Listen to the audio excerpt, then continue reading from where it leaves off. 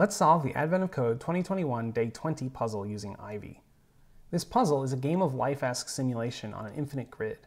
We have a 512-bit binary map telling us the next pixel value for a given pixel based on the nine pixel values in the 3x3 grid centered on that pixel. So at each step, for each pixel, we pick up the nine surrounding values, including itself, and use, those, use that as a 9-bit value to make an index to look up in the map. Now the fact that the grid is infinite is a bit of a gimmick because the infinite part always has the same value. It's all zeros at the start, and then it will move on to being all zeros or all ones, depending on the map entry at the index for all zeros or all ones. In the sample function, 9 zeros maps here to 0, and so the infinity is just going to stay 0 throughout. In the input function, 9 zeros maps to a 1, and then nine ones maps to a 0, and so it's going to toggle back and forth at each step. Either way, as long as we pad the grid with enough empty space that the real data, the actual pattern, can't reach the edges, that will be good enough to simulate the infinite grid. So I have the sample loaded. So let's work on padding the grid. We can pad one side, which is saying dot comma b comma dot, and then we can pad the other sides. That was the top and bottom, and we can pad the left and right by doing the same thing in the transpose. So transpose dot comma transpose dot comma b comma dot comma dot. There we go. That's one round of dots all the way around. So let's write a function for adding n padding. And let's call the function aleph in reference to the Tower of Infinities, aleph 0, aleph 1, and so on. And we'll say n aleph b, if n is 0, is just the board b. And otherwise, we're going to add n minus 1 aleph of one round of padding. So n aleph b is going to add n rows and columns all the way around of padding around the board. So 5 aleph b is this board, which is good. And if we do, we have to do two steps to begin with. And so if we do two steps on this board, at most you can have a, a the actual pattern move out one notch, one uh, step, one column or row. And so you can't get to the edge of the board here. So five is plenty. And so now we just need to actually run the game on this board and, and we'll get our answer. And we're supposed to be counting the number of pixels that are lit after two steps.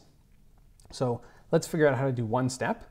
Um, we need to add up, we need to construct the indexes for each of the, the actual cells. So for this cell, we need to have this dot, this value, and this value, and this value, and then also this row and this row, and put that 9-bit value together.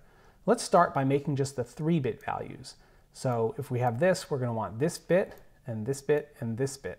Let's just work on those three. And to do that, we can say, we'll say n sigma b is going to be a base, base n sum over the board b. We say 1 rot b, that's this value. Actually, no, it's, it's this value, plus n times this value, b, plus n times this value, which is minus 1 rot b. And because everything is right associative here, this n times applies to b, and then it also applies here, so you get n squared, which is exactly what we want for that bit.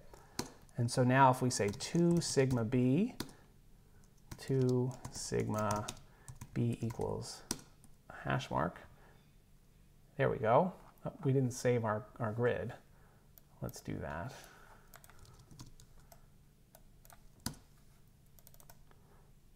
Whoops. There we go. Now we have the right values. And you'll notice that if we hadn't had the padding, then we would have gotten very different values. We missed the edges and some of the other pieces were wrong. But with the padding, everything is, is actually correct. And so this is the result of just doing 3-bit numbers to the left and right. And then we can interpret those as octal numbers up and down if we just do the same thing on the transpose. So the transpose of octal sum, of transpose of binary sum of b equals that. And so that gives us the numbers that we need to actually use to index into the map. So let's just save that expression. The sum for the board is this.